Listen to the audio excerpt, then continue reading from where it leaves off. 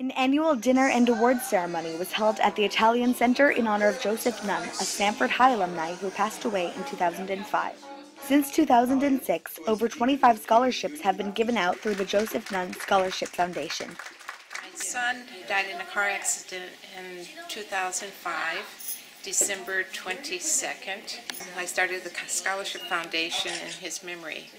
After receiving uh, memorial money from people, I just used that to start up the fund. Um, it has grown in terms of us, you know, giving the, the amount of money that we're giving to um, our local high school students, um, and which is um, a fortunate um, thing for us to do. Uh, we have um, we've garnered even more connections. there are more people that's giving.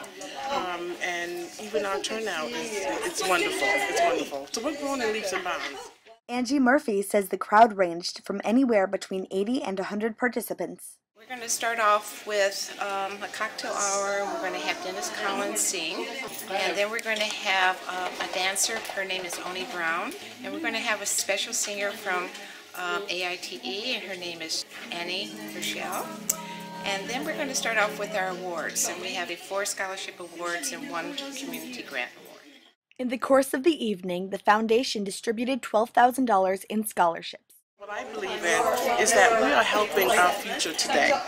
By giving to them, we are now providing a resource for them to fulfill their dreams. But again, we're going to benefit as um, as a community in the future. Uh, I hope it continue. I know it's going to continue to grow because uh, you have a great group of people here that are, are encouraging students all the time to seek higher uh, higher education and uh, I know that uh, the name Joe Nunn will continue to be a part of uh, education, not only throughout Stamford High School, but throughout the city of Stamford.